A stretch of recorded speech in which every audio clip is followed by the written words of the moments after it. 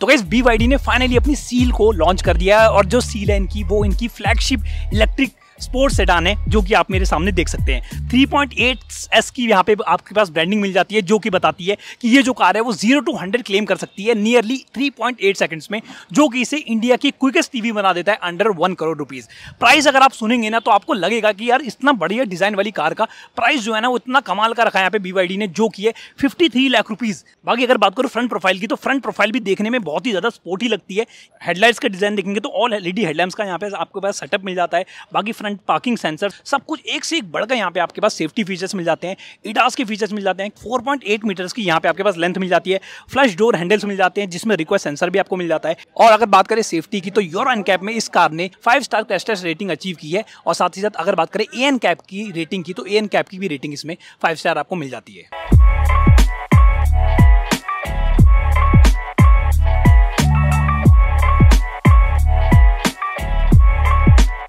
BYD ने finally एटो 3 और E6 के बाद अपना थर्ड प्रोडक्ट भी इंडिया में लॉन्च कर दिया है, जो कि है BYD सील इसे वैसे ऑटो एक्सपो में अनवील कर दिया था उन्होंने बट यहाँ पे आज इसका प्रॉपर लॉन्च हो चुका है और लॉन्च होने के बाद इसका जो प्राइस आया है, वो बहुत ही ज़्यादा शॉकिंग है। शॉकिंग मैं लेकर आ रहा हूँ, क्योंकि एक बार आप इसका डिज़ाइन लैंग्वेज देखो डिज़ाइन जो है वो इतना ज़्यादा अट्रैक्टिव है कि देखने से ही आप बोलोगे कि यार ये हो सकता है, ये जो गाड़ी है, वो नियरली वन करोड़ को टच करे। और साथ ही साथ अगर बात करो स्पीड की या एक्सेलरेशन टाइमिंग की तो उसको देख के भी आप अगेन यही बोलोगे कि शायद ये गाड़ी जो है, वो वन करोड़ टच करेगी करेगी। लेकिन इसका जो एक्स शोरूम प्राइस बीवाईडी ने रखा है टॉप वेरिएंट का, वो है 53 लाख रुपीस जितनी स्पोर्टी बाहर से है, उतना ही प्रीमियम ये इंटीरियर से है। तो क्विकली इसका फ़र्स्ट लुक चेकआउट करते हैं। बहुत ज़्यादा डिटेल्स में नहीं जाएँगे बट आज इसका फ़र्स्ट लुक हम देखेंगे और बताएँगे आपको क्विकली कि ये गाड़ी में आपको क्या क्या खास चीज़ें मिलती है। मोटर जो है उसकी बहुत ही ज़्यादा पावरफुल मिलती है।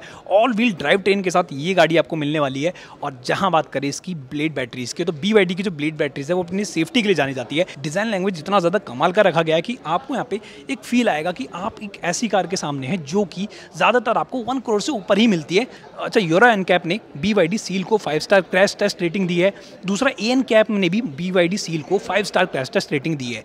सेफ्टी में यहाँ पे आपको नाइन एयरबैग्स मिल जाते हैं। दूसरा अगर बात करें फीचर्स की तो एडास के फीचर्स यहाँ पे आपको मिल जाते हैं। टोटल तीन वेरिएंट्स में आती है बी सील जिनमें से फ़र्स्ट जो वेरिएंट है वो है इसका डायनेमिक वेरिएंट सेकंड वेरिएंट है प्रीमियम वेरिएंट और लास्ट जो वेरिएंट है अभी मेरे सामने वो है इसका performance variant different different variants के हिसाब से इसकी रेंज वेरी करेगी, इसका प्राइस वेरी करेगा और इसकी ड्राइव ट्रेन भी वेरी करेगी। यानी कि अगर बात करें इसके बेस वेरिएंट डायनेमिक वेरिएंट की तो उसका जो प्राइस शुरू होता है वो होता है forty one lakh rupees ex showroom price से। और ये वेरिएंट जो होगा वो बेस्ड होगा रियर व्हील ड्राइव ट्रेन पे। वहीं अगर मैं इस पर्टिकुलर टॉप वेरिएंट की बात करूँ तो ये जो वेरिएंट है, ये इसका परफॉर्मेंस वेरिएंट इस वजह से रेंज भी आपको यहाँ पे ज़्यादा मिल जाती है और ड्राइव ट्रेन भी आपको यहाँ पे ऑल व्हील ड्राइव ट्रेन मिलती है।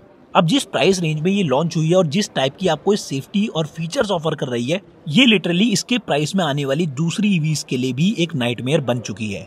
और परफॉर्मेंस की बात करें तो जितनी ये परफॉर्मेंस आपको ऑफ़र करती है, उतना इस प्राइस ब्रैकेट में तो छोड़ो अंडर वन करोड़ कोई और ईवी ऑफ़र नहीं करती। फ्रंट के हेडलैम्प्स की बात करें तो यहाँ पे आपको double U floating LED headlamps का सेटअप मिलता है। नीचे आपको रिपल लैंप्स मिल जाते हैं। काफ़ी ज़्यादा एरोडायनेमिक डिज़ाइन इसमें BYD ने ऑफ़र किया है इसमें। लेकिन BYD का कहना है कि उन्होंने प्राइमरी जो इसमें फोकस किया है, वो किया है इसकी सेफ्टी पे। एडास के फीचर्स की बात करें तो यहाँ पे आपके पास automatic emergency braking adaptive cruise control blind spot detection and lane departure prevention जैसे कुछ फीचर्स मिल जाते हैं। तो गई यहाँ पे आप देख सकते हैं ओपन करा हमने इसका हुड और हुड के नीचे आपको मिल जाता है एक फ्रंक फ्रंक का अगर स्पेस की बात करें तो यहाँ पे आपको 50 लीटर्स की कैपेसिटी मिलती है फ्रंक में।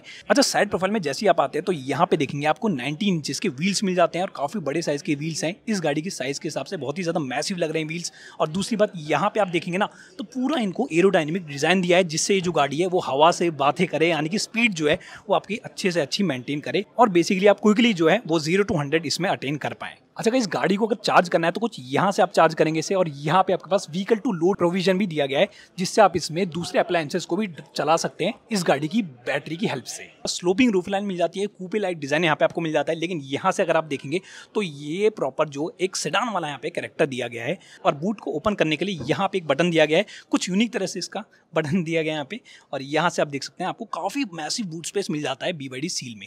उसके साथ यहाँ पे देखेंगे तो आपके पास एक स्पेस अलग से मिल जाता है स्पेस को प्रॉपरली यूटिलाइज कर सकते हैं। अच्छा पावर टेल गेट की फैसिलिटी मिल जाती है तो इस बटन को प्रेस करना है और आराम से आप देख सकते हैं, इस सेडान का जो है टेल गेट बंद हो जाता है। बीवाईडी की यहाँ पे आपको ब्रांडिंग की गई है ऑल व्हील ड्राइव की ब्रांडिंग की गई है। बाकी ये यूनिक चीज़ है कि बीवाडी सील के नीचे यहाँ पे आपके पास 3.8 एस लिखा हुआ है। यानी कि ये जो कार है, वो ज़ीरो टू हंड्रेड क्लेम कर लेती है 3.8 सेकंड्स में। In fact guys tail lamps के डिज़ाइन को भी देखेंगे तो ये भी बहुत ही ज़्यादा यूनिक रखा गया है और ये ऊपर से आपको एक कनेक्टेड एलईडी का सेटअप भी यहाँ पे मिल जाता है।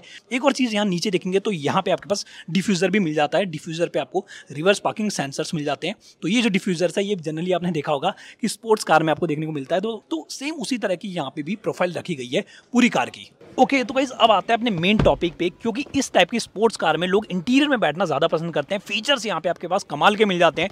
और बी वाई डी की स्क्रीन की आपको खास बात पता ही है एटो थ्री में भी आपने देखी होगी कि जो स्क्रीन हैं वो प्रॉपरली कुछ इस तरह से रोटेट हो जाती है यानी कि हॉरिजॉन्टल और वर्टिकल सेटअप यहाँ पे आपके पास मिल जाता है स्क्रीन में। बाकी यहाँ पे देखेंगे तो क्रिस्टल की फॉर्म में आपको यहाँ पे एक ट्रांसमिशन मिलता है जो कि बेसिकली ट्रांसमिशन पूरी तरह से नहीं है। इसे हम ड्राइव मोड्स कह सकते हैं और यहाँ पे डी मोड मिलता है एन है और रिवर्स आपको यहाँ पे मिल जाता है। स्टार्ट स्टॉप बटन भी यहाँ पे कुछ यूनिक तरह से दिया गया है, जो कि आपको देखने में बहुत ही ज़्यादा इंटरेस्टिंग लगेगा। गाड़ी की विथ जो है बहुत ही ज़्यादा है, इस वजह से ये जो बीच में आपको सेंट्रल कंसोल मिलेगा, ये इतना बड़ा मिलता है कि आप आराम से ड्राइवर और को ड्राइवर थोड़ा गैप गैप लेके बैठ सकते हैं और मज़े से अपनी लॉन्ग जर्नी को एंजॉय कर सकते हैं।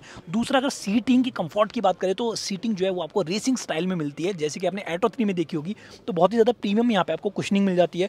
साइड बोल्स्टिंग भी आप देखेंगे तो कुछ इस तरह से आपको पास साइड बोल्स्टिंग मिल जाती है। Heated seats and ventilated seats का फीचर यहाँ पे आपको मिल जाता है। सनरूफ देखेंगे तो आपको उस टाइप की सनरूफ यहाँ पे नहीं मिलती, जैसे कि आपको पसंद है। मतलब कि यहाँ पे डिफरेंट टाइप की है मून रूफ आप इसे कह सकते हैं, या ग्लास पैनोरामिक सनरूफ आप इसे कह सकते हैं। ये जो सनरूफ है, ये बेसिकली ओपन नहीं होती है और यहाँ पे आपके पास यूवी प्रोटेक्शन मिल जाता है।